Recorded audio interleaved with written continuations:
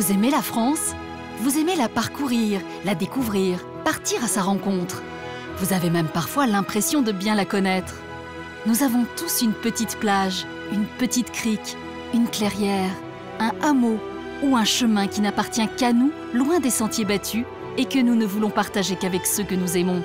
C'est cette France-là que nous voulons vous faire découvrir à travers 100 lieux qu'il faut absolument voir dans votre vie.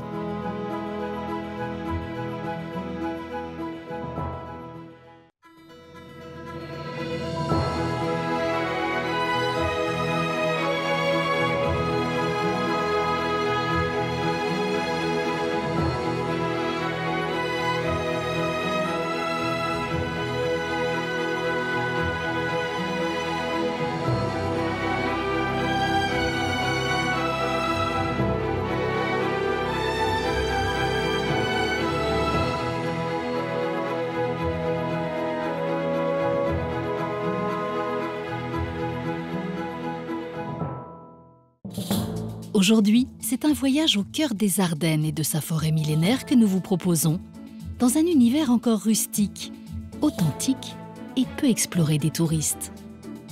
Cette terre de passage et d'invasion a tenu dans ses mains la destinée de la France dans les moments cruciaux de son histoire. Vous allez ainsi explorer la colossale forteresse de Sedan et la cité en étoile de Rocroi.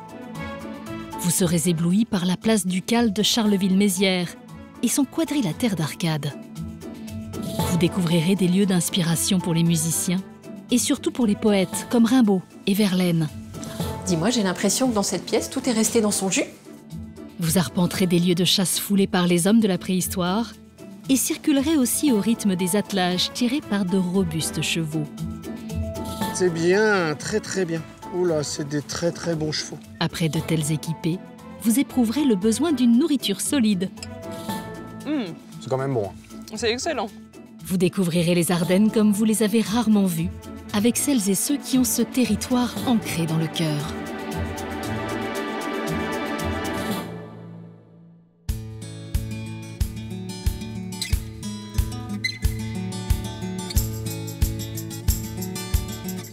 Notre escapade débute au nord du département des Ardennes, tout près de la frontière belge. Nous sommes dans la région de Charleville-Mézières, où la Meuse coule paisiblement. Très attachée à ses Ardennes natales, Marion Guyot, une étudiante en design, a lancé un blog, Chronique d'une Ardennaise. J'entendais souvent des choses négatives liées aux Ardennes et avec le blog que j'ai créé, je veux pouvoir faire découvrir toutes les belles choses qu'il y a dans ma région. Pour commencer, notre blogueuse souhaite mettre en valeur le joyau architectural de Charleville-Mézières, la place Ducale. Une place qu'on a l'impression de reconnaître sans y avoir jamais posé les pieds. Pourquoi? C'est ce que Marion va chercher à comprendre avec Carole Marquet-Morel, la pétulante directrice du musée de l'Ardenne. Bonjour Carole. Écoute, je suis super contente de te voir parce que je passe tous les jours sur cette place et finalement je la connais pas si bien que ça. C'est toujours comme ça. Les choses les plus quotidiennes, on les traverse, on ne fait pas attention et on oublie les beautés qui nous entourent. Du coup, on va voir ça? On y va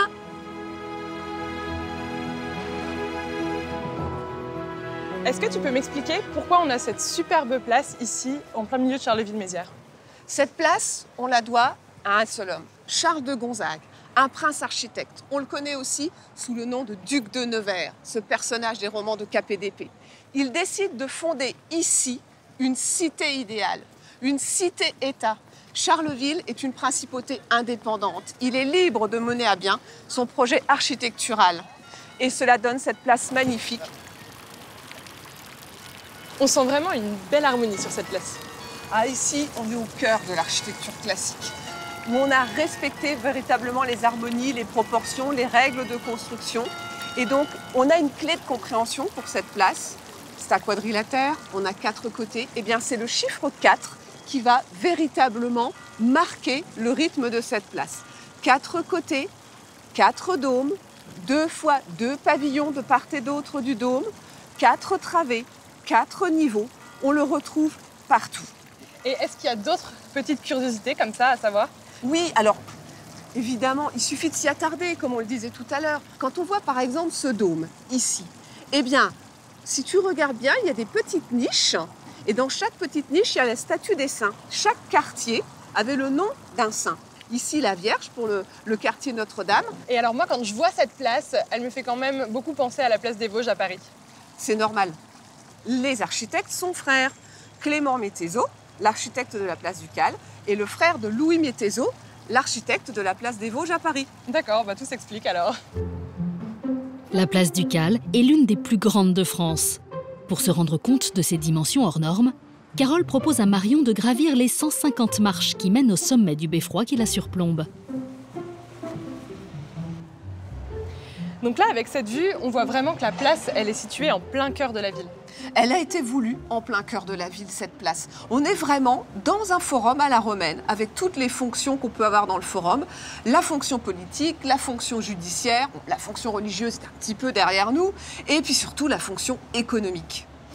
Et donc toutes ces arches qu'on voit, c'est pour remplir cette fonction économique? Exactement, pour donner de l'activité, de l'artisanat à cette place, de la vie. Donc ce sont des échoppes en fait.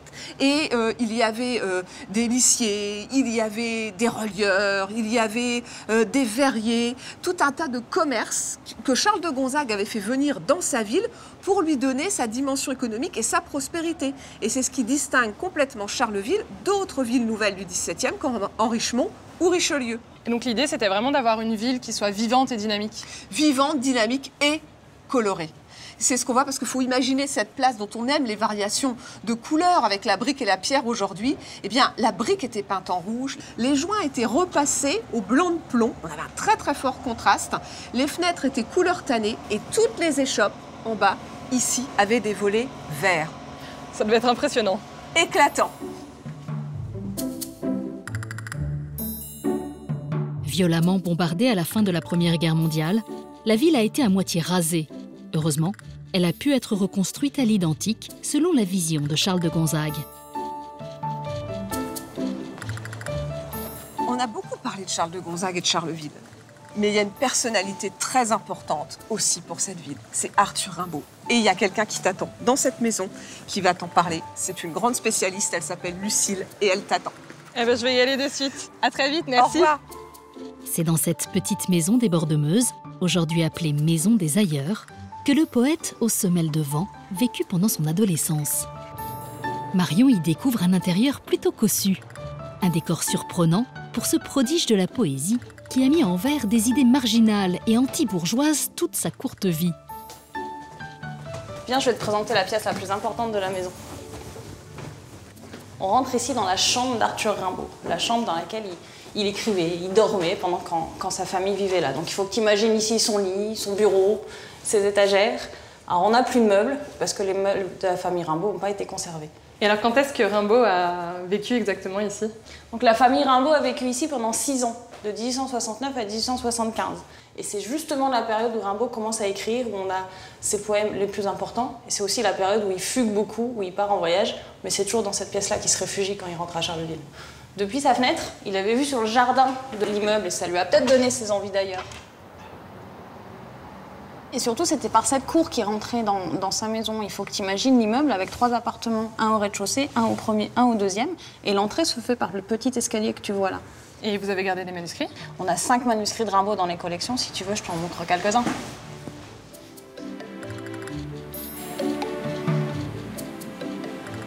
Ah oui, c'est le poème voyelle, je me souviens, je l'avais appris à l'école. A noir, E blanc, I rouge, I vert, O bleu. Mais je t'avoue que je comprends pas trop ce que ça signifie. T'es pas la seule à pas forcément comprendre. Il y a plein de chercheurs qui se sont penchés un peu sur sa signification. Est-ce qu'un jour quelqu'un trouvera la bonne? Ben, On ne saura sans doute jamais. La dernière, c'est que ça rappelle peut-être l'Apocalypse. Et je te présente ici une lettre de Rimbaud. C'est sans doute la lettre la plus importante qu'on a dans les collections. C'est une lettre qui a écrit- été écrite à son professeur, Georges Isambard, après, être- après une fugue et après être rentré à Charleville. Il met Je suis rentré à Charleville, je meurs, je me décompose dans la platitude, dans la mauvaiseté, dans la grisaille. Il avait pas l'air d'apprécier beaucoup Charleville. Il n'avait pas forcément une bonne image de Charleville parce qu'il avait envie de découvrir autre chose, il avait envie de voyager. En même temps, Charleville, ça a toujours été son port d'attache et dès qu'il avait des problèmes, bah, il revenait voir sa famille à Charleville. Et aujourd'hui, bah, Charleville lui- lui rend hommage en permanence. Donc, euh, Et puis Charleville a bien changé aussi. Pour ceux qui souhaitaient prendre la fuite comme le jeune poète, envoyer du courrier ou simplement commercer, l'impressionnant relais de poste situé juste à côté de Charleville était incontournable. C'est l'un des derniers témoins du transport hippomobile en France. Marion souhaite absolument le mettre en avant sur son blog. Elle sait qu'elle ne trouvera personne de plus enthousiaste et pointu sur le sujet que la guide conférencière Nathalie Picard. Bienvenue à Launois. Dis donc, on se croirait vraiment à une autre époque ici. Tout à fait, tu as vu? Il suffit de quelques chevaux et on est parti au 19e siècle. On rentre dans le relais et on va voir ce qui se passe avec les diligences. C'est parti. Depuis quelques années, l'Office du tourisme de Launois-sur-Vence agrège une brigade de passionnés qui fait revivre le temps glorieux du relais de poste en costume d'époque. La plupart des attelages sont tirés par de robustes Ardennais, une race célèbre pour avoir notamment enduré la terrible campagne napoléonienne de Russie. Dis donc, c'est vraiment très impressionnant ici. Je pensais pas que c'était aussi grand. N'est-ce pas? Aujourd'hui, nous avons quelques chevaux, mais il faut imaginer au 19e siècle 60 à 80 chevaux sur le relais d'Aposte. Alors, il faut de la place. Et exactement, à quoi ça servait un relais de poste chevaux?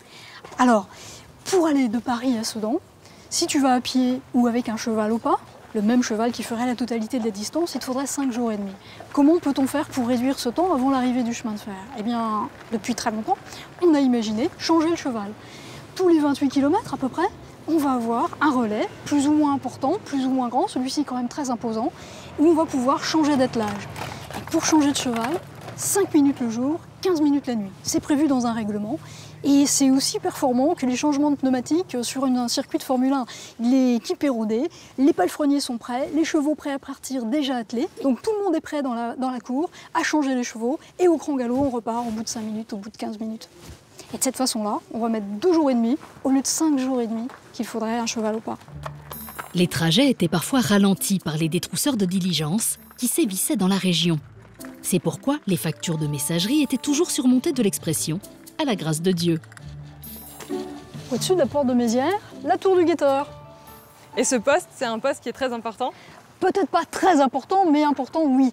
Il est là pour annoncer l'arrivée des équipages, mais aussi surveiller les greniers. Parce qu'un départ de feu, ça mettrait à mal toute l'installation, il n'y aurait plus de fourrage pour les animaux. Mais le personnage le plus important, c'est sans aucun doute le postillon.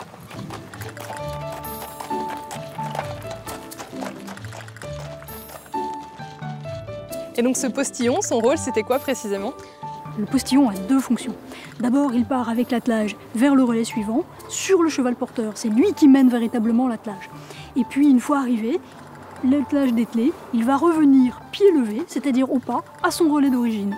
Ça a l'air d'être un personnage qui est assez important. Est-ce qu'il avait des signes distinctifs? Tout à fait. Un joli costume rouge, plein de boutons, et puis surtout des grandes bottes qui le protégeaient, les bottes de cette lieu. Et pourquoi cette lieu? Et bien tout simplement parce que c'est la distance moyenne entre deux relais. On va tout s'explique. Chaque bâtiment avait une fonction précise dans cette gare, où les équipages arrivaient généralement fourbus. Le plus important d'entre eux, c'était la halle. Waouh, c'est immense ce bâtiment. Attends, regarde. 15 mètres de haut, des poutres d'un seul tenant. Une grande halle. Et vu cette taille, je suppose qu'il y avait vraiment beaucoup de monde dans cette halle. Alors du monde, on ne sait pas, mais en tout cas des véhicules. Oui, bien sûr, les diligences qui font étape et qui vont- on va entreposer ici, qui seront à l'abri, mais aussi tout le matériel agricole de la ferme, parce que c'est une ferme aussi. Alors après, qu'est-ce qu'il y a comme activité? Ben, Sans doute des gens qui sont là pour réparer, on ne sait pas. Donc finalement, le relais de poste, c'est quelque chose de très organisé. Tout à fait, très organisé, c'est ça. Lorsqu'ils faisaient halte ici, voyageurs, cochers et postillons avaient besoin d'une nourriture fortifiante qui tient bien au corps, comme la curieuse cacasse à cul nu. Un plat typiquement ardennais que Jérémy André s'apprête à concocter pour un banquet où l'on ne craint pas les calories. Donc Jérémy, est-ce que tu peux me dire qu'est-ce qui compose le- principalement la cacasse à cul nu? Alors l'ingrédient principal, c'est des pommes de terre, de la farine et de l'eau. Et l'histoire de ce fameux plat? C'était euh, pendant la pénurie de viande au moment de la guerre. Et donc, euh, du coup, euh, nos grands-mères, pour faire croire un petit peu euh, qu'on mangeait la viande, ils faisaient avec du saindoux, ils faisaient leur roux et ils plongeaient des pommes de terre dedans. Et ils laissaient cuire ça pendant des heures et des heures et des heures. Avec des oignons ou pas, il y en a qui en mettent, il y en a qui en mettent pas. Et du coup, quand on mangeait les pommes de terre, ça nous donnait quand même un petit goût de viande, une petite sensation de, de viande. Bon, nous maintenant, on met de la viande. Le roux à la cacasse, il faut toujours qu'il soit marron. Marron clair, mais marron. Et en plus, tous les Ardennais connaissent la cacasse. Si j'ai pas cette couleur-là, ça marchera pas. Et C'est- sinon, c'est pas de la cacasse. C'est pas de la cacasse. Alors, qu'est-ce que je peux faire pour t'aider? Ah bah écoute, je vais te laisser euh, remuer pour pas que ça colle. Et puis moi, j'ai préparé la farine pour préparer le roux. D'accord. Une fois les lardons bien colorés, on prépare le roux en mélangeant la farine au beurre. Mais ne vous y trompez pas, les proportions de Jérémy sont destinées à un repas pentagruélique de 150 personnes. Donc là, on va mettre de l'eau dedans. Et on va continuer à mélanger. Et n'oubliez pas l'élément essentiel de ce plat rustique, les pommes de terre. Donc là, on a rajouté deux saucisses fumées parce que les Ardennais, on est gourmands. Et donc du coup, on va faire frémir ça au four. Et puis après, on n'aura plus qu'à rajouter le roux avec les pommes de terre dessus.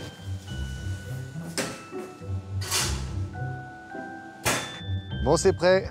Après une heure et demie de cuisson, tu vas m'en dire des nouvelles.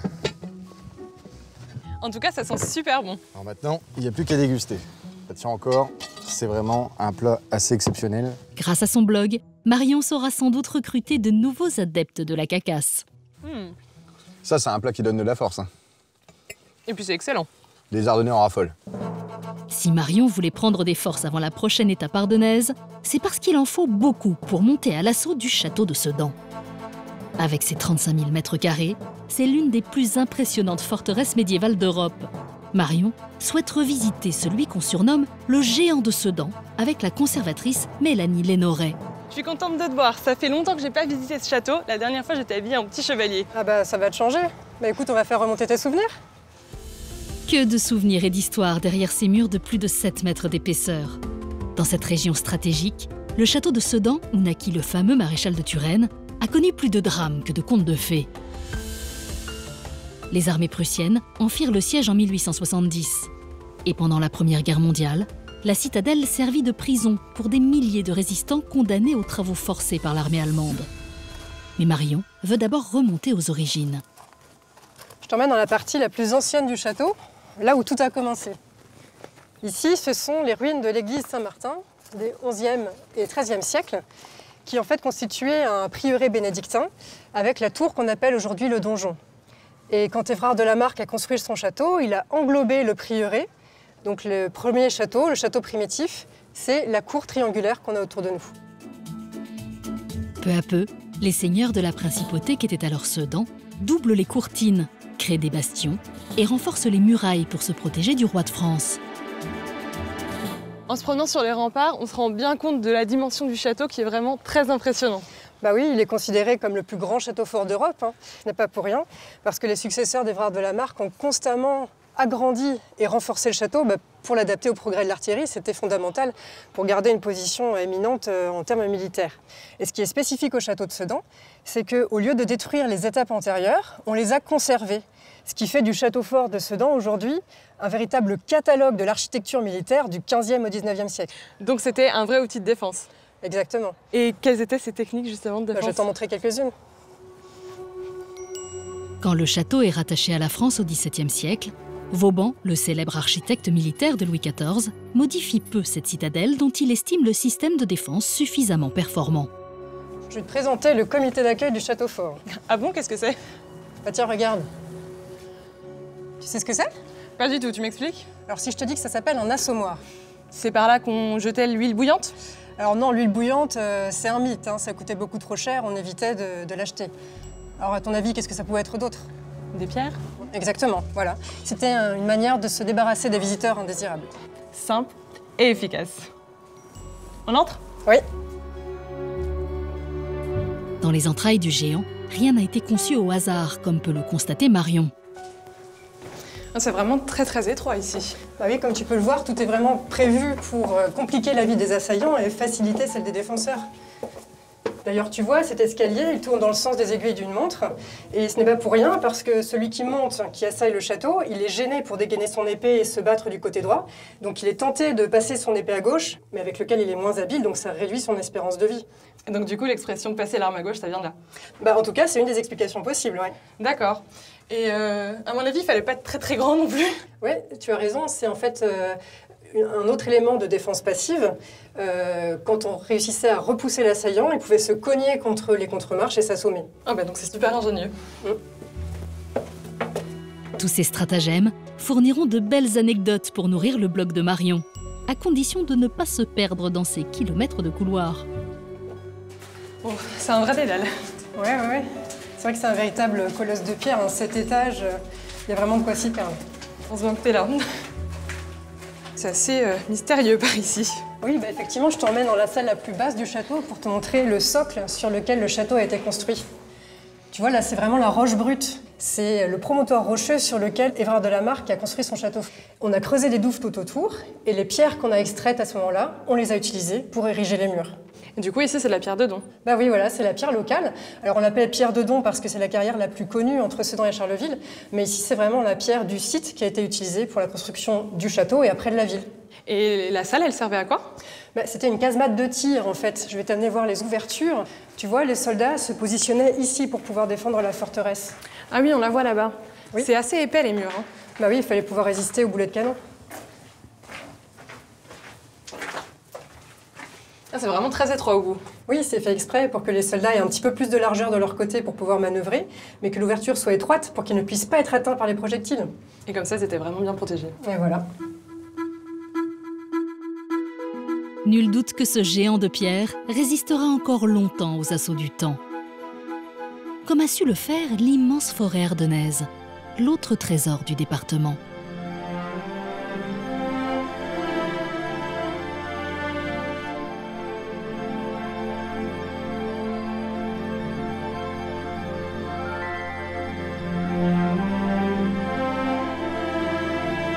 C'est au cœur de l'épais massif ardennais que nous poursuivons notre découverte, en compagnie de Philippe Boudard. Ce restaurateur passionné de chevaux et féru de chamanisme a construit un tumulus et deux dolmens juste à côté de chez lui.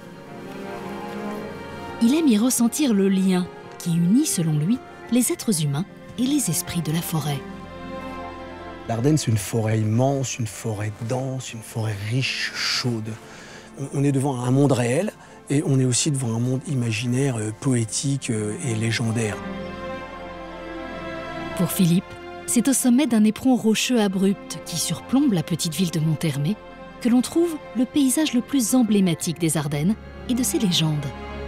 Ici, les boucles de la Meuse, encerclées par la forêt, dessinent un des méandres les plus spectaculaires de France.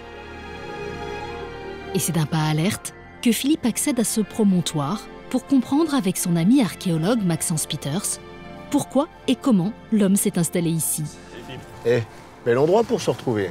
Bah oui, on a un petit résumé de l'Ardenne ici, avec la forêt, l'eau, euh, le rocher en face de nous. Le rocher, c'est la roche des quatre fils Aymon. La forge, ça doit faire 2500 ans que ça, que ça tape dans le coin. Bah, peu de choses près, effectivement, avec l'arrivée de la culture gauloise, Mhm. la première métallurgie du fer. Ça vibre, ça tape, ça a une rythmique, euh, ça transforme de la matière. Moi, ça me fait penser aux légendes, au chamanisme. Bah, tu fais bien de me parler de chamanisme, parce qu'on en a beaucoup parlé par ici, autour des gravures magdaléniennes de Roque-la-Tour, qui est juste derrière nous. On y va, Maxence? Et bah c'est parti. Eh, c'est parti. Au Magdalénien, c'est-à-dire 15 000 ans avant notre ère, un petit massif de quartzite, appelé le Roc-la-Tour, s'est formé en plein cœur de la forêt. C'est l'un des plus anciens sites occupés par l'homme dans la région. Mais pour y accéder, Philippe et Maxence doivent d'abord se frayer un chemin dans une forêt dense. Le Roc-la-Tour se mérite. Chaque fois que j'arrive là, j'ai une émotion particulière. Bah, D'autant plus qu'il n'y a rien de comparable dans les Ardennes. On est vraiment sur un lieu unique. Partout, on est sur le schiste, le massif primaire schisteux. Et ici, le schiste est remplacé par le quartzite, ce qui a donné ce paysage unique sur tout le massif. On grimpe dessus pour voir Oui. Ça va. On y va Hum Allez. Aujourd'hui, le site est régulièrement utilisé par les passionnés d'escalade. Mais Philippe et Maxence préfèrent emprunter une voie plus facile pour atteindre l'endroit où ont été relevées parmi les premières traces de présence humaine dans les Ardennes. Alors là, wow, on peut dire qu'on surplombe vraiment toute la vallée. hein. Oui, on a un très beau point de vue et qui devait être encore plus impressionnant à l'époque, puisque là, aujourd'hui, on a la forêt qui nous masque un petit peu le paysage. Et au Magdalénien, la forêt devait être totalement inexistante. Pas de forêt du tout. Pas de hein. forêt du tout. Quelques arbres qui poussent dans les endroits les plus abrités, probablement dans la vallée. Mais ici, au niveau du plateau, il ne devait pas y avoir un seul arbre. Et du coup, on devait avoir une vision superbe tout autour de nous à 360 degrés. Et tu penses que c'est ce surplomb qui a amené euh, l'humain dans... sur ces roches? C'est probablement une des raisons, puisque les sites de cette époque-là en Belgique, qui sont euh, des mêmes groupes humains, on va dire, sont plutôt dans les vallées. Et ici, on est sur le plateau, qui est normalement la zone la plus froide. Mais le point de vue fait que ça devait être une, euh, un, un endroit pour guetter le gibier absolument euh, extraordinaire. Et il chassait quoi alors? Le renne. Tiens, par exemple, je peux te montrer. Et voilà, un des silex qui a été découvert ici. Un petit burin, on a la partie active ici, qui a été utilisé à l'époque pour travailler le bois de renne. Alors avec ce petit objet euh, en silex, ce petit burin de silex, on travaillait le- des objets en bois de renne. Voilà. Le campement est installé juste derrière nous. Et ici, ils guettent, ils surveillent et ils descendent dans la vallée ou ils vont sur le plateau pour chasser. Plusieurs milliers d'années après avoir occupé ces promontoires naturels de pierre, les Ardennais se sont mis à bâtir des cités-forteresses. Parmi elles, la ville fortifiée de Rocroi, l'un des joyaux du patrimoine ardennais, situé tout près de la frontière belge. Pour nous faire découvrir ces fortifications astucieusement camouflées par la verdure, Philippe gravit d'un pas décidé le bastion de Montmorency, où l'attend un passionné d'histoire militaire, Patrice Petit. Et L'arrivée encaissée, j'ai l'impression de revêtir une armure. Ah ben ça tombe bien parce qu'ici on est sur une ville fortifiée. Donc on pourra aller voir sur euh, un des bastions les plus hauts de la ville un petit peu comment tout ça est organisé. hein. Avec plaisir.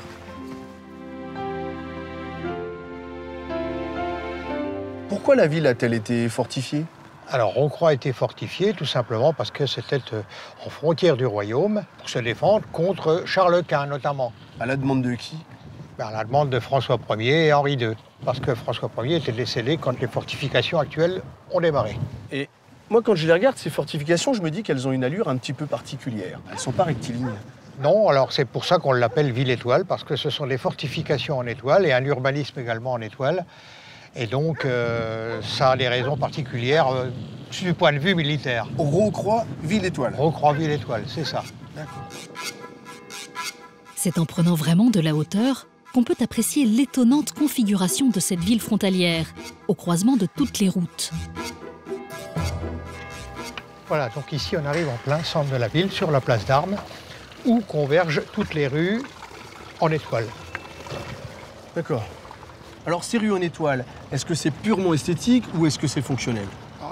À l'origine, c'est purement militaire parce que ça permettait aux soldats de garnison de pouvoir accéder très rapidement sur la place d'armes et à partir de la place d'armes pouvoir se rendre également très rapidement dans toutes les rues qui sont toutes en ligne droite. C'est pour ça qu'on l'appelle ville étoile. Voilà. Donc, c'est défensif, en fait. Absolument. À Rocroi, tout a été pensé pour surprendre d'éventuels assaillants. Les bâtiments ne devaient pas dépasser une certaine hauteur afin de rester dissimulés derrière les fortifications. Mais J'imagine que depuis euh, 1555, la création de la ville, l'architecture militaire a dû évoluer. Obligatoirement, notamment avec l'évolution de la- de l'artillerie. les militaires ont construit un, un hôpital de siège, ici même, sur ce bastion du Dauphin, pour euh, protéger et soigner les civils et les militaires en cas de siège. Donc là, c'est un hôpital et il est enterré. Voilà, il est enterré pour protéger les voûtes de- des obus ou des boulets de canon. En 1643, l'armée espagnole venue des Pays-Bas pour prendre Paris a fait le siège de Rocroi, où elle a connu une cuisante défaite. On raconte même que c'est grâce au système défensif de la ville que l'avenir du futur Louis XIV aurait été préservé. Donc là, on rentre dans un nouveau système de défense. On est dans une galerie. Oui, donc euh, en fait c'est une poterne qui permet de passer de la première ceinture à la deuxième ceinture de défense. Et on en a euh, plusieurs par ici euh, sur Rocroi. Et là, ça ouvre sur un dernier système de défense avec des meurtrières. Et là, c'est c'est quoi là, cette élévation? Alors les militaires appellent ça une dame. Donc là, on est dans la position de l'assaillant, c'est-à-dire qu'on doit rejoindre la fortification. Et les militaires ont créé deux obstacles. Un premier obstacle en fêtage, en pierre. C'est extrêmement difficile de marcher dessus. Et donc, euh, si par chance on peut accéder jusque la fameuse dame, hein, on l'a appelée dame, parce qu'une fois arrivé à cet endroit-là, il faut enlacer la dame. Donc moi là, je suis l'assaillant, je veux traverser, je dois passer là-dessus. Oui. Que j'enlace la dame Exactement. pour aller de l'autre côté. Et voilà, c'est- ce sont deux obstacles en fait. Que vous pourriez me faire une démonstration, s'il Non. vous plaît? Non, je ne voudrais pas prendre le risque. En partant, Patrice indique à Philippe le lieu où les plans de la fameuse bataille de Rocroi auraient été élaborés, la cour des Prés. Située à Rumigny, cette vaste demeure, que tous les villageois surnomment le château, appartient à Louis-Marc Avril et sa famille. Alors on est sur la route des, des- des fortifications. Moi quand j'arrive, je vois un château. Est-ce que c'est un château? C'est une demeure fortifiée. Pour répondre à l'appel de François Ier, Il demandait qu'on fortifie la, la région pour, pour quelle raison? Parce qu'à cette époque-là, Charles Quint était l'ennemi de François Ier et euh, la frontière était trop ouverte. Ceux qui construisaient des maisons, ils pouvaient fortifier leurs maisons. C'était exceptionnel. Donc dans cette région, des gens ont droit de fortifier, d'avoir des maisons qui ont, qui ont l'apparence de château alors que... que- que- alors que c'est une maison, et qu'il y avait un château seigneurial à l'autre bout du village. Maintenant, c'est vrai que c'était une maison qui était massive. Et aujourd'hui, comme il n'y a plus de château seigneurial, tout le monde l'appelle le château. On peut visiter l'intérieur? Oui. L'ancêtre de Louis-Marc n'était pas un aristocrate, mais un maître de forge. Ses propriétaires d'ateliers artisanaux, devenus par la suite des capitaines d'industrie métallurgique, ont largement contribué au développement des Ardennes. Alors combien de personnes habitaient dans cette maison? Alors au tout début, il y avait Louis Martin et son épouse, et puis sa fille et son fils. Donc ils étaient quatre. Et puis il y avait une dizaine de gens d'armes. Gendarmes Oui, ceux dont le métier était les, les armes. D'accord. Ce qui a donné la gendarmerie aujourd'hui. On peut tenir un siège alors? On pouvait tenir un siège puisqu'il y avait des jardins potagers euh, à l'intérieur des fortifications. Et que quand il y avait un siège, on prévenait les habitants du village et ils venaient avec leurs richesses et donc avec leurs bêtes. Si le donjon et le pont-levis ont aujourd'hui disparu, les douves ont été préservées. Mais désormais, on n'a plus besoin de garde pour les surveiller. Voilà, alors ici, c'est la salle des gardes. C'était une salle de vie, 10 gardes vivaient ici. Oui, ils y vivaient, ils dormaient, ils euh, mangeaient ici. Et pour manger, ils servaient de la cheminée Ils faisaient la cuisine dans le feu avec la marmite. Une marmite qu'ils attachaient à la crémaillère. Vous pouvez comme ça faire du feu fort ou du feu doux, selon la position de la marmite sur la crémaillère. L'expression pendre la crémaillère vient de là alors Exactement, parce qu'en fait, tant qu'on n'a pas pendu la crémaillère, on ne peut pas cuisiner. Donc on ne peut pas inviter ses amis. Et quand on invite ses amis, bah, on pend la crémaillère. Et après avoir pendu la crémaillère, dans les Ardennes. Bon, un petit coup, un petit coup de cidre par exemple. Eh bien d'accord, avec plaisir. Nous quittons la vie de château pour retrouver le milieu naturel favori de Philippe, sa chère forêt de Thiérache, tout près de chez lui, où il aime tant faire de longues promenades. Il vient justement d'acquérir deux jeunes chevaux qu'il doit acclimater à la conduite en attelage.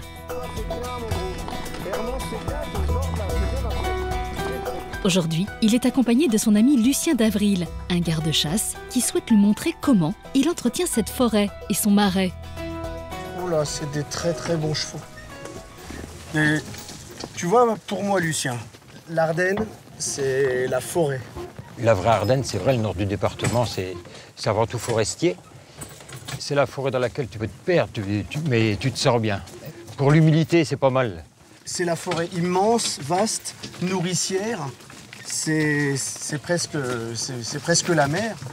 La mer, euh, la mer avec des vagues, mais aussi la, la mer.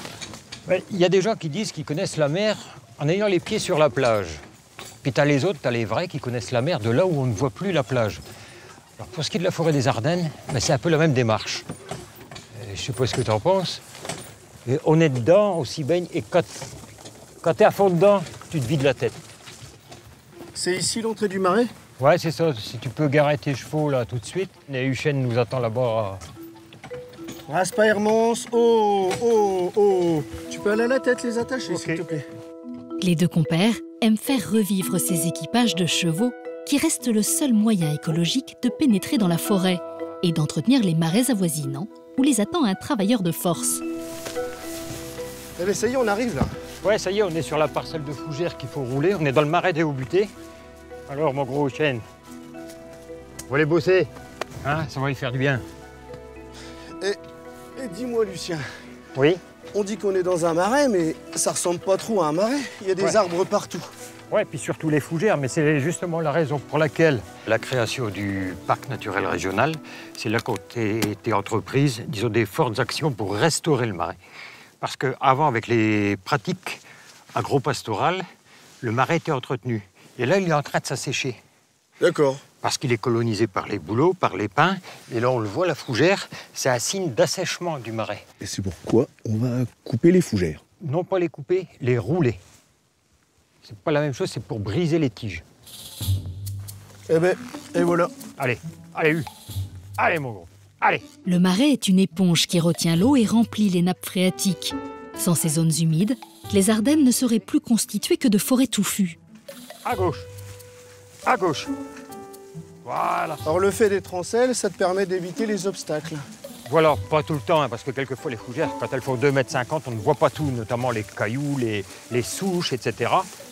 Mais ça permet aussi de travailler, on va dire, plus finement. Voilà, voilà, je contourne là. Là, là, là, voilà. Allez, à gauche. Moi je comprends pas, euh, Lucien, pourquoi euh, les fougères, on, on les coupe pas, on les fauche pas plutôt que de les rouler comme ça Alors c'était l'erreur qui était souvent commise de couper les fougères. Les fougères, c'est pas une racine, c'est un rhizome. Si tu les fauches, c'est seulement qu'elles reprennent vigueur et qu'elles se renforcent. Donc là, ce qu'on fait avec le rouleau à barre, c'est qu'on occasionne des blessures sur les tiges. On fait des pliures. Pour se refaire, la fougère va devoir mettre toute son énergie. Et quand tu es passé euh, deux fois par an entre juin et septembre durant trois à quatre années, tu as supprimé 80% de la fougère. Ces pratiques ancestrales sont le meilleur moyen d'entretenir ce milieu naturel millénaire. Mais comme les volontaires ne sont plus assez nombreux pour épauler Lucien, d'autres chevaux sont récemment venus en renfort pour sauver le marais.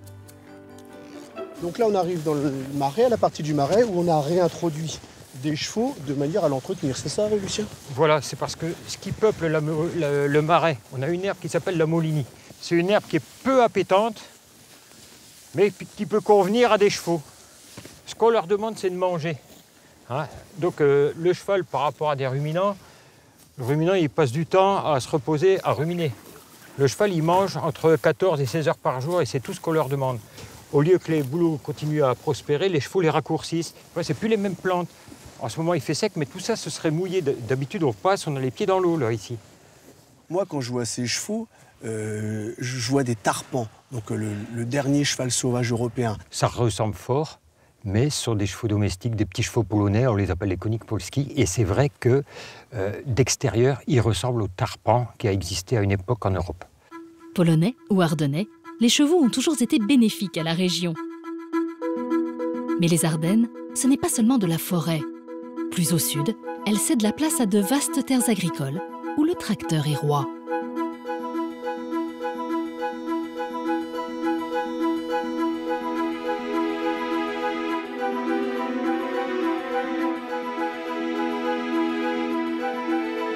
C'est ici, dans le pays rotellois, que se poursuit notre voyage.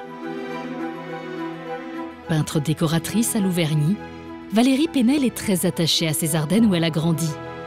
Après ses années d'études artistiques, elle a finalement décidé de revenir vivre dans la région de son enfance, voici un peu plus de 15 ans. Moi, ce qui m'inspire, c'est ce qui me parle beaucoup, c'est toute cette palette, ces dégradés de, de verre, toutes ces couleurs de terre différentes que je peux travailler, euh, que je peux inclure dans mes toiles, dans mes décors, et, euh, et ça, ça me, ça me parle beaucoup. Pour commencer, Valérie souhaite nous faire découvrir l'univers d'un autre artiste qui peignait ses tableaux avec des mots et des rimes, Paul Verlaine. Le prince des poètes a choisi de vivre ici, à Juniville, dans les années 1880. Un musée lui rend aujourd'hui hommage. Valérie va y remonter le temps avec Marc Gaillot, un conservateur pour le moins passionné. Bienvenue au musée Verlaine. Merci. Alors, musée, mais pas maison. Maintenant, la maison était juste en face. Détruite, j'imagine Exactement, détruite pendant la Première Guerre mondiale. Donc, il ne nous reste de Verlaine à Juniville que l'auberge du Lion d'Or, hein, l'auberge où il s'installait pour écrire.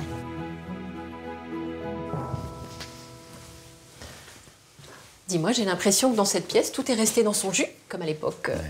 C'est une euh, bâtisse qui date du XVIIe siècle. Une auberge euh, qui a survécu à toutes les guerres, typique du sud ardennais. Et euh, depuis le passage de Verlaine, de guerre est toujours intacte, avec tous ses meubles d'époque. Donc auberge typiquement ardennaise, de la fin du XVIIe. Euh, typiquement ardennaise parce que cour fermée, hein, avec comme seule ouverture vers l'extérieur, mais la bequette ardennaise, c'est-à-dire l'œil de bœuf au-dessus de l'évier, la Oui. télévision de l'époque. hein. La bequette, La fameuse bequette ardennaise, oui. Tu sais ce que ça veut dire, beuquet en ardennais? Ça veut dire euh, regarder sans être vu. Exactement, c'est ça, beuquet, c'est voir sans être vu. Une belle pierre à évier et le confort moderne avec euh, la pompe à eau sur l'évier plutôt qu'à l'extérieur. Il ne doit pas y avoir beaucoup de gens qui avaient... euh, Ce type d'installation en intérieur. ouais. Exactement. Je t'emmène dans la pièce à côté. Et donc nous voilà dans la pièce où Verlaine s'installait pour écrire. Donc un petit peu à l'écart. euh, Les gens mangent plutôt dans la pièce d'à côté. Lui se met dans cette salle-là, un peu à l'écart, tout en étant dans la vie du village. hein. Il vient prendre ses repas euh, de midi sur cette table. Et c'est la même, elle n'a pas bougé. C'est celle qu'il a connue. Et après le repas, ben, l'écriture des poèmes. Et donc des feuillets volants, jusque par terre, dit la propriétaire des lieux. On va voir un peu par là? Exactement. Parmi mes pièces préférées euh, au musée, il y a cette banquette. Donc, une des banquettes du café François Ier à Paris, la fameuse photo de Verlaine, hein, assis à la table de bistrot euh, devant son verre d'absinthe. Banquette qui nous a été offerte par un collectionneur et qui est restée dans son jus, complètement intacte. Oui. Voilà. Hors de question de la remettre en état, sinon on enlève euh, toute l'âme hein, de, de cette banquette. Et juste à côté, euh, le masque mortuaire, donc moulage. Hein, Ah oui. Donc ça, c'est vraiment très impressionnant parce qu'on voit tous les détails, euh, les, les rides, les, les poils. euh, Il a l'air endormi et paisible en plus. Oui. Ouais. Malarmé, euh, qui fait partie des gens qui font le moulage de, de Verlaine, et Malarmé font en larmes quand on a fini de mouler euh, la face de son ami, parce qu'en fait, quand ils enlèvent le moule, ils lui arrachent les sourcils, tout s'en va. Tout s'en va. Oui. Voilà. Ça, c'est une pièce magnifique, ça. Et ce que tu ne sais peut-être pas non plus, c'est que Verlaine a été professeur à Rethel Professeur de quoi? Professeur d'anglais et professeur de dessin. Et professeur d'anglais avec des méthodes extraordinaires, puisqu'il fait parler ses élèves en français avec l'accent anglais. Ça, c'est original. C'est ouais. très original.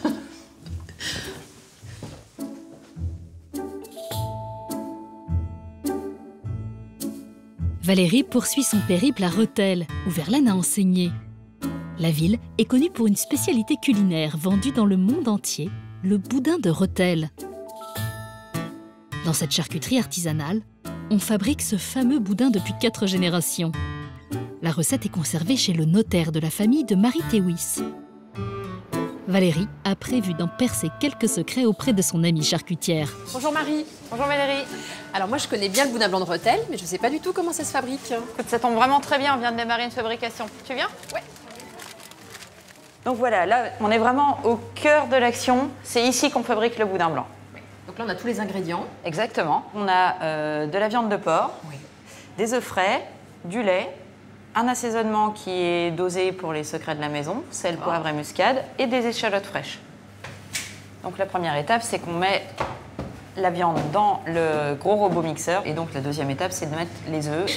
Maintenant, je te propose qu'on mette les ingrédients. Si tu veux partager cette tâche essentielle avec moi, donc c'est le secret de la maison. hein. On a du sel, du poivre, deux sortes de poivre et les échalotes.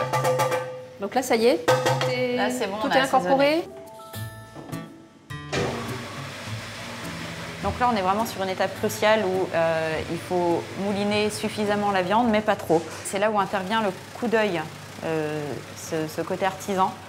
C'est-à-dire qu'il faut vraiment être euh, assez spécialiste de la fabrication du boudin blanc pour arriver à ce grain de viande et savoir le bon moment où on va mélanger le lait. D'accord. C'est pas un temps défini, c'est l'œil vraiment. Voilà. Il y, a, il y a un nombre de tours un peu défini, mais c'est l'œil qui prime. Ok, donc c'est maintenant qu'on va mettre le lait dans la viande. Mais alors, quelle est l'origine vraiment du boudin de Rethel Alors c'est intéressant qu'on en parle maintenant parce que justement cette bouillie de viande qu'on voit à l'origine, c'était la bouillie blanche qu'on préparait à Noël. Et en fait le boudin blanc de Rethel est né de l'idée d'un charcutier, il y a 400 ans maintenant, euh, qui a eu l'idée en fait de mettre cette bouillie dans un boyau et de le faire cuire ensuite pour que ce soit plus noble à présenter. Parce qu'il devait recevoir euh, Mazarin qui venait en visite à Rethel dans Oui, son donc c'est- château. oui, c'est plus présentable. Voilà, c'était beaucoup euh, plus présentable.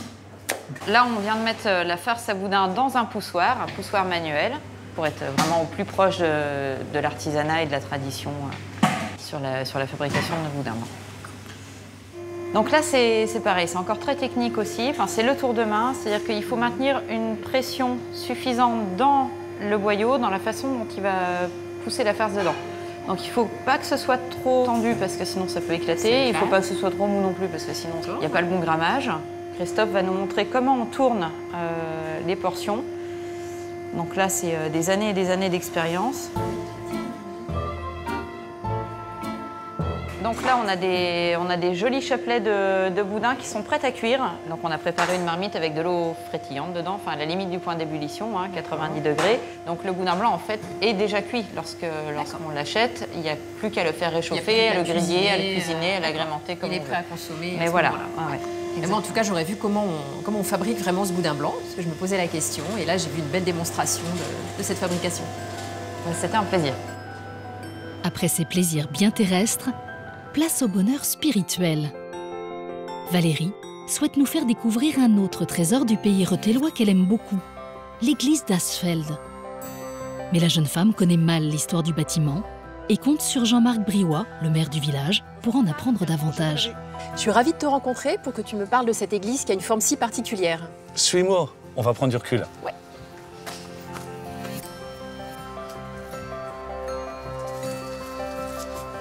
Donc tu vois Valérie, cette église elle est spéciale parce qu'elle aura la forme d'une viole de gambe.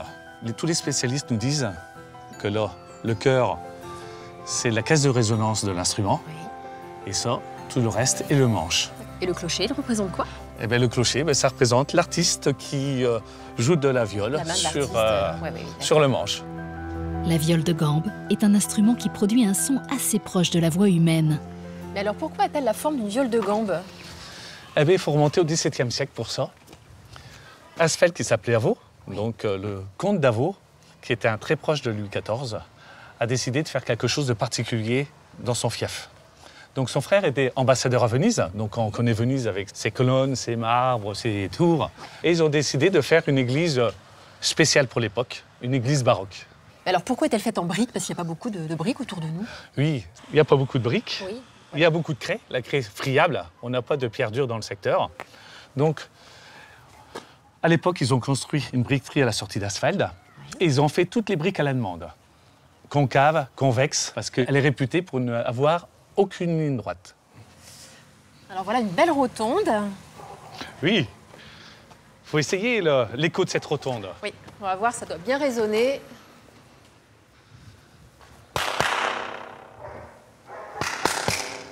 Oui, effectivement, la rotonde est ovale. Et ici, en fin de compte, on voit que tout est pensé et imaginé pour la musique.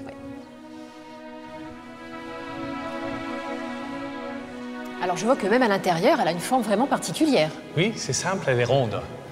Mais chose spéciale dans cette église, cinq chapelles, cinq côtés. Et avec la voûte, on voit que tout est fait pour qu'on sente vibrer la musique. Quand des artistes viennent faire des concerts, il y a de nombreux concerts à Asphalt, des grands et autres, on sent vraiment que le cœur de l'artiste. Certains artistes viennent même enregistrer des disques ici. Parce que l'acoustique est, spéciale. Est spécial et voilà, ça fait intime. On est, Ah oui, oui, oui. oui. on est Oui, entre tous les petits, les petits raccoins et tout, c'est très spécial, oui. Toute cette beauté est une formidable source d'inspiration pour notre artiste peintre. Pour réaliser la peinture de ces tableaux, elle vient régulièrement s'approvisionner en pigments à Écordal, dans un endroit qui fait la fierté des Ardennais, le moulin de couleurs géré par Emmanuel Poix. Dis-moi, vous travaillez quelle couleur aujourd'hui? Actuellement, là, on a rentré de l'ocre la semaine dernière, donc une ocre très sèche avec les conditions climatiques qu'on a actuellement. Si tu veux, on peut aller la voir. Il y a Joël qui est en train de préparer des plateaux pour la sécher demain. Ok, allez. Cette fabrique de terre colorante a été créée en 1866. C'est la dernière toujours en activité en France. Voilà l'ocre jaune. C'est celle qu'on a rentrée la semaine dernière. Donc ça, c'est l'ocre de Bourgogne. Donc là, tu as vu, euh, l'ocre, elle est vraiment bien pure, bien propre. euh. Donc là, elle est brute de carrière. hein. Tu as vu déjà la qualité qu'on a, déjà le pouvoir colorant, rien que comme ça. Ouais, ça c'est une super belle couleur, ça. J'aime beaucoup travailler le- l'ocre. Et euh, mais après, donc, quand elle arrive comme ça, et ensuite tu, tu en fais quoi? Tu la travailles comment? Bah là, dans un premier temps, on va la mettre sur des plateaux pour la sécher. Donc là, tu vois le wagonnet qui est là. Argileuse et riche en oxyde de fer, la terre des Ardennes ne nécessite aucun traitement, simplement du savoir-faire et beaucoup de séchage. Donc euh, on va les sécher à peu près pendant 6 heures. À quel degré? Bon, entre 150 et 200 degrés. Là, c'est vraiment pour retirer toute l'eau et toutes les impuretés végétales qu'il y a à l'intérieur, pour avoir quelque chose de bien propre avant de pouvoir aller les passer au broyeur, pour avoir la poudre très fine. Pour pouvoir l'utiliser ensuite directement. Ouais, c'est ça. D'accord. Aujourd'hui, Les broyeurs sont électriques. Mais il y a 50 ans, la terre était broyée par une meule entraînée par une roue à aube, d'où son nom de moulin de couleur. Alors moi j'aimerais bien savoir comment on passe de cette teinte, l'ocre jaune, à celle-ci. L'ocre à la base elle est jaune, si on la sèche à 200 degrés, elle reste jaune. Par contre, comme il y a beaucoup d'oxyde de fer à l'intérieur, rien que le fait de la chauffer à 700 degrés, elle va devenir rouge. Et on la chauffe pendant combien de temps? Là, on compte un peu une journée complète, donc ça fait un four de 10 heures. Donc le début de la, de la chauffe, ça va être l'évaporation d'eau. Et ensuite, on va monter tout doucement en température et on va maintenir pendant 3 heures à 700 degrés pour obtenir l'ocre rouge telle qu'elle est là actuellement. Et donc ensuite, on va les broyer de la même façon pour obtenir le pigment fini euh, à utiliser en, en patine. Oui, c'est ça. Là, les terres, elles ont été séchées ou chauffées. Et une fois que toute l'eau et toutes les impuretés sont, ont été retirées, on va pouvoir les emmener au broyeur pour les réduire sous forme de poudre. Donc voilà notre terre de sienne après broyage. Donc là, comme tu peux voir, en finesse, on est de l'ordre de 30-40 microns. Nous, on est plus fin que de la farine. C'est important pour le pigment. Plus c'est fin, mieux ça se mélange, plus ça colore. Moi, si tu veux, je vais te montrer à la lumière. Tu vas voir la luminosité qu'on a avec cette terre. Ouais, ça c'est une teinte qui est très, très chaude, très, très belle à utiliser en patine. Ouais, là, Ah tu, oui. tu vois, donc la terre de Sienne, là. Donc là, c'est le pigment principal, hein, c'est notre terre de Sienne des Ardennes. Donc extraite à 10 km d'ici. Notre terre de Sienne qui est beaucoup utilisée en restauration du patrimoine, ou comme toi, tu, tu le fais régulièrement en patine. Ah oui, oui, moi je l'utilise beaucoup dans mon travail parce que c'est une, une terre, une teinte très lumineuse, très chaude. Et puis en plus, c'est la terre de, de mon pays. Et euh, donc ça, c'est quelque chose qui me tient vraiment à cœur. Qui pouvait imaginer que la terre des Ardennes se retrouverait sur les palettes des peintres du monde entier Ici s'achève notre plongée au cœur de ces Ardennes françaises, dont le charme se révèle subtilement. C'est une région encore méconnue, malgré les tempêtes de l'histoire. Une citadelle naturelle qui offre aux curieux son lot de beauté et de découvertes.